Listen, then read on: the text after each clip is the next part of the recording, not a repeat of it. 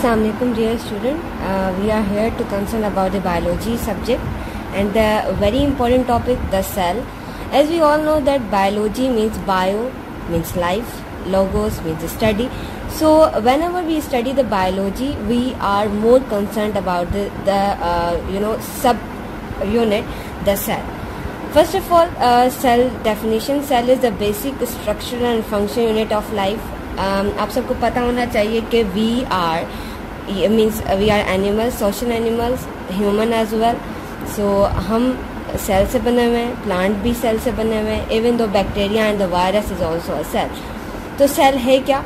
Cell is the basic structural and function unit of life where the, all the activities as to be concerned. Cell किसने discover किया? Cell discover by Robert Hooke in 1665 और अब हम उसके बाद topics के बाद, इस सेल के बाद इंट्रो के बाद हम ऑर्गेनल्स का पढ़ेंगे कि सेल के अंदर कौन कौन से ऑर्गेनल्स होते हैं। Cell wall cell membrane nucleus cytoplasm endoplasmic reticulum Golgi apparatus mitochondria plastid ribosomes vacuole yes ये सारे organelles they are the sub organelle छोटे छोटे ऑर्गेनल्स हैं जो छोटे से सेल्स के सेल के अंदर मौजूद होते हैं। सेल जो है वो एक इतना माइन्यूट इतना माइन्यूट पार्ट है we are not seen by our naked eye even though microscope जो हमारी कंपाउंड माइक्रोस्कोप है उससे उससे भी सिर्फ़ ये डॉट फॉर्म में नज़र आता है।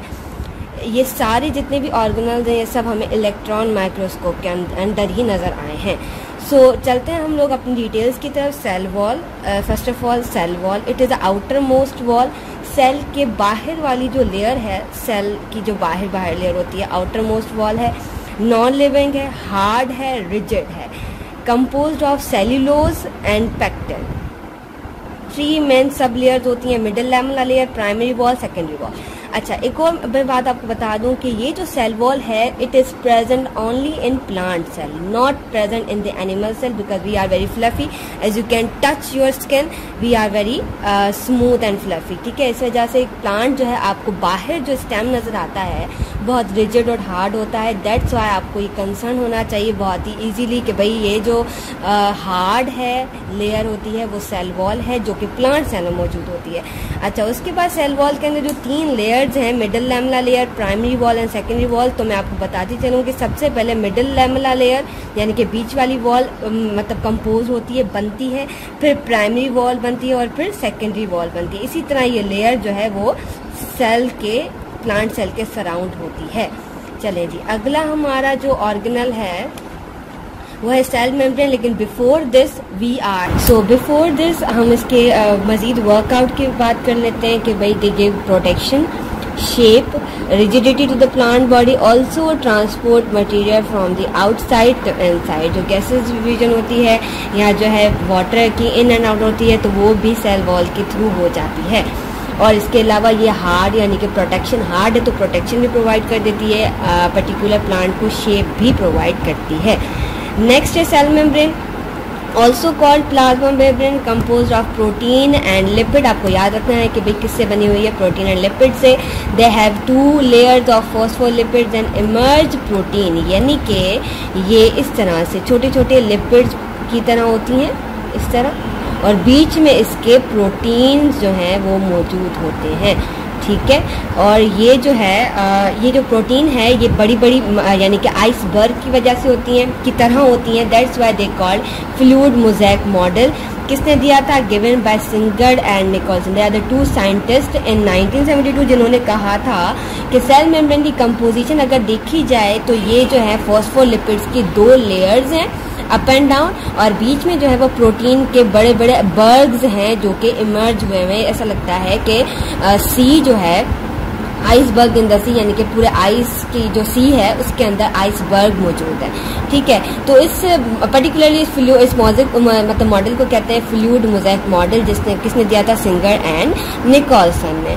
ठीक है? और इसके अलावा अगला हमारा the most main topic nucleus discovered by Robert Brown 1831 में they are spherical and also irregular in shape कभी किसी किसी में इरेगुलर इन शेप होते हैं, किसी में स्फेरिकल होते हैं। न्यूक्लियस के अंदर, ये न्यूक्लियस जो है वो सेल है सेल के बीच में मौजूद है, ठीक है? And they are surround by one layer this nuclear membrane उसके अंदर जो है वो जेल लाइक सब्सटेंस मौजूद है डार्क कलर का, उसे कहते हैं nuclear plasm which contain chromosomes and DNA. I think you are all well known about chromosomes and DNA. Chromosome they are thread-like structure and DNA is a deoxyribonucleic acid which are uh, chromosome are uh, you know uh, काम आते हैं किस वक्त cell cycle या cell division के बाद ठीक है अगला है हमारा द साइटोप्लाज्म साइटोप्लाज्म जो है, वो भी हमारा मेन है ट्रांसपेरेंट है ट्रांसल्यूसेंट है फ्लूडिक इन नेचर है।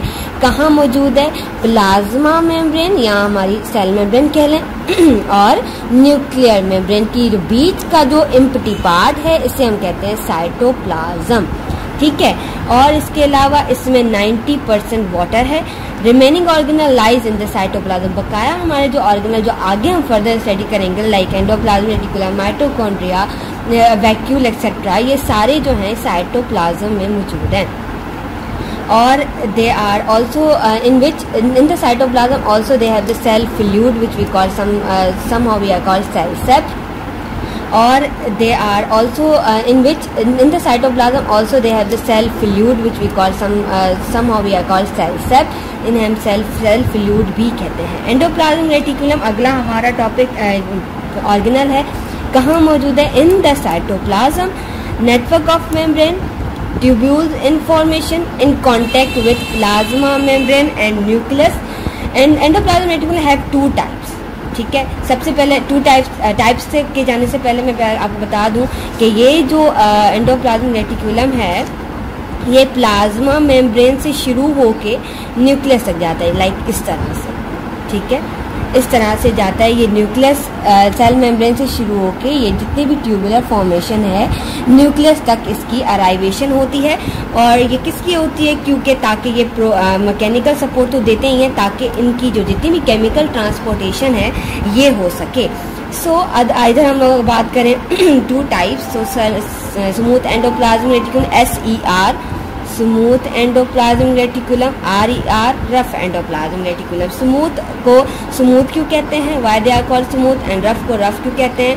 बिकॉज़ एबसेंट और present of ribosomes and other organelle which are call ribosomes smooth है, यानी कि नो राइबोसोम्स रफ है yes ribosomes are present so so, अगर रफ एंडोप्लाज्मिक रेटिकुलम होगा आपको पता होना चाहिए कि रफ है क्योंकि इसमें राइबोसोम्स मौजूद है और अगर स्मूथ है तो इसमें राइबोसोम्स मौजूद नहीं है। There absent of ribosome and what is ribosomes now हम आगे पढ़ेंगे, लेकिन फ़िलहाल मैं अभी तक आपको बता दूँ कि राइबोसोम जो है, वो ग्रेन्यूलर पार्ट है। ग्रेन्यूलर पार्ट छोटे छोटे they are the you know grains in form and the main function is that protein synthesis protein formation और प्रोटीन सेंथिस कहते हैं that's why ribosomes are called protein factory next part is Golgi complex और Golgi apparatus भी कह सकते हैं हम लोग discovered by the scientist Camillo Golgi smooth है flat and sac in structure and vesicle ये आपको मैंने फिगर में रफ फिगर, फिगर मैंने बना दी है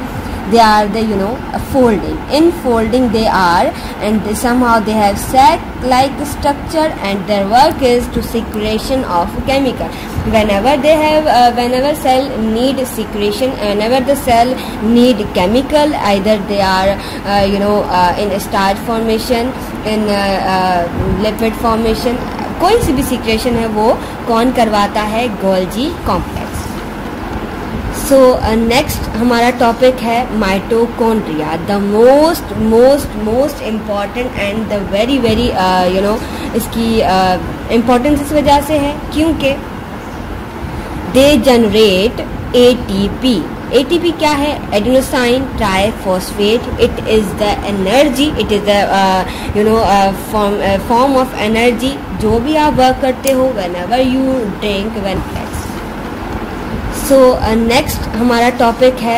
mitochondria the most most most important and the very very you know इसकी इम्पोर्टेंस uh, इस वजह से है. क्योंकि they generate A T P A T P क्या है? Adenosine triphosphate it is the energy it is you know form of energy जो भी आप वर्क करते हो whenever you drink whenever you eat whenever you walk whenever you run जो भी आप काम करते हो, आपको एनर्जी की नीड होती है तो एनर्जी ऐसे डायरेक्टली नहीं मिलती। जो भी आप खाते हो, कुछ भी खाते हो, ये ट्रांसफ़र हो जाती है एटीपी में। ATP is the form of energy जो आपको प्रोवाइड होती है। आ जाते हैं माइट्रोकॉन्ड्रिया की तरफ़। मेन ऑर्गेनल है रॉड लाइक स्ट्रक्चर है। इसके अंदर जो है, वो दो पार्ट्स होते हैं, दो उसके अंदर यू नो स्ट्रक्चर है। पहले तो इसका फ्लूड है, जिसे हम क्या कहते हैं? मैट्रिक्स इसके अंदर ये फ्लूड भरा हुआ है, इसे कहते हैं मैट्रिक्स, और अंदर जो है वो इसके यू नो टनल्स हैं, या आप कर्व फॉर्मेशन भी कह सकते हो विच वी कॉल क्रिस्टा ठीक है? सो माइटोकॉन्ड्रिया एनर्जी प्रोवाइड करते हैं they have their own you know formation of energy so that's why they are called powerhouse of the powerhouse of the cell ठीक है? पावर ऑफ़ द सेल क्यों कहते हैं क्योंकि they form and they create the energy which we need ठीक है? अब आ जाते हैं, अगला हमारा ऑर्गेनल है plastid they are pigmentation present in the higher plant whenever we talk about the plant structure तो याद रखें आप लोग कि ये प्लांट में ही मौजूद है. यानी कि they are not present in animal cell ठीक है? These plastids are of three types chloroplast chromoplast leucoplast ठीक है? Chloroplast chromoplast glucoplast they are the three types of plastid present in the plant cell chloroplast if we are talking about chloroplast they are green in color present in the leaves help in the photosynthesis ठीक है, ये जो क्लोरोप्लास्ट है, ये ये green colour के होते हैं, ठीक है?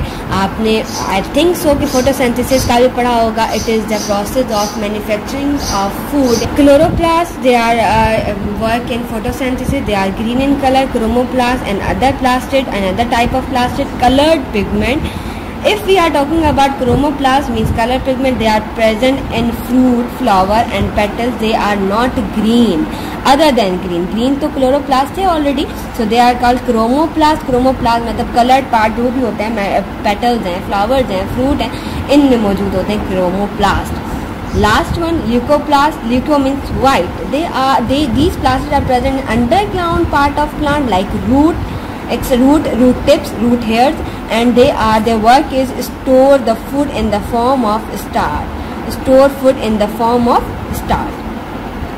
Leucoplast का मेन फ़ंक्शन यही है कि भाई जो भी आ, ये जो प्लास्टिड्स हैं यानी कि leucoplast they are white in colour so they are present in underground part of plant and the work is to store food in the form of starch ठीक है अगले हम लोग ऑर्गेनाइज की तरफ़ चलते हैं it is called ribosome ribosome already मैंने आपको बता दिया है। Already we have discuss we were discuss about that granules are in nature present in the rough endoplasm reticulum okay one more thing they are present on the rough and endoplasm reticulum too but also present freely in the cell you know cell structure inside the cell ribosome freely भी मौजूद होते हैं, क्योंकि इनका जो work मैंने आपको already बता दिया they are protein factory manufacture the protein also free in cytoplasm if they are present in rough endoplasm reticulum so it's not called कि भाई बस rough endoplasm reticulum के अंदर ही मौजूद है के ऊपर ही मौजूद है no